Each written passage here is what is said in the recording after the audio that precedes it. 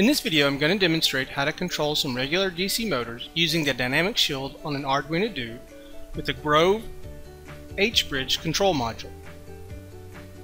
I'm in the process of building a Star Wars MSE-6 mouse droid, and I'm using this as the motor unit for that robot. The base kit is a DF Robot 4-wheel drive unit. The Grove motor module can control two DC or stepper motors. The Arduino communicates to the controller through the I2C lines. The Due actually comes with two I2C lines, and the DynamixShield has Grove connectors for both of them. One here, and one here. We'll be using the I2C0 line for this video. The Grove Motor Shield has a terminal block for connecting each one of the motors, and another block for connecting your power. The nice thing about this module is that you can connect your battery directly to your motor drive and it will provide a 5 volt signal for powering your Arduino and Shield as well. One thing to note here is that you want to make sure you get the latest 1.3 version of this motor board. I accidentally bought a version 1 at first and it didn't work. The later one worked fine though. I've wired the left motors to each other and the right motors together as well. Then we need to connect the left motors to one of the blocks and the right motors to the other. For this test, I'm going to be using a regular power supply instead of a battery. I have a 2.5mm barrel jack connector that I'm going to hook into the battery block. Make sure you put it in with the correct polarity though. Next, let's plug the module to the I2C Grove connector on the shield.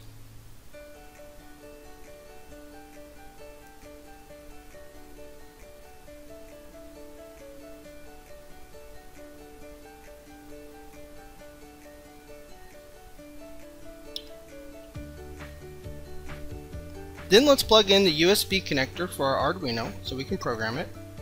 Plug it into the programming port of the Due.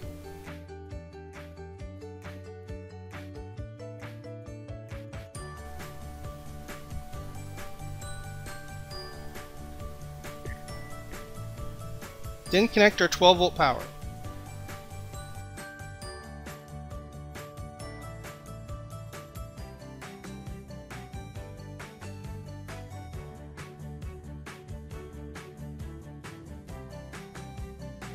And that's it for our hardware. Now let's open the I2C motor driver demo code sketch that's located in the Sketches MSE6 Droid folder of the repo.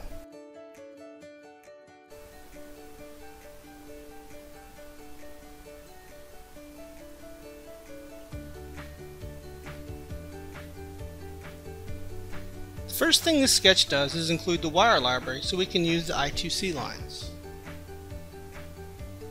Then it defines some constants for the motor commands. It then starts up the wire library and the debug serial lines.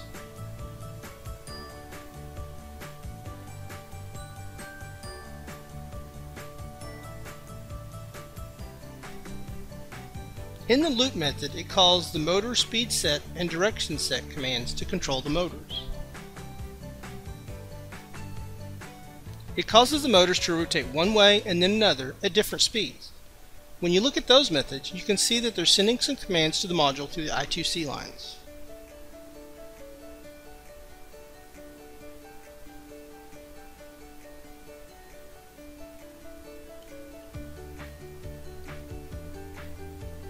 Now let's download our sketch and watch it in action.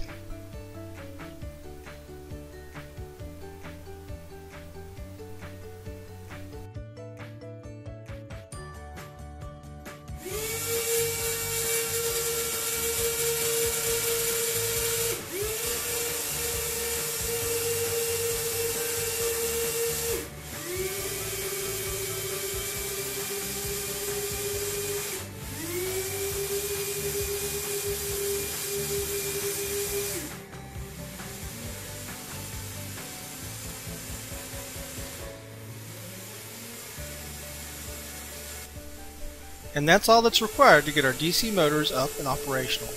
I'll have another video later showing how to connect a Bluetooth receiver to the Arduino to allow you to control the speed and direction of the motors from an Android app. If you like the DynamixShield, then please support my Kickstarter for it so I can get these boards produced and available to others for use.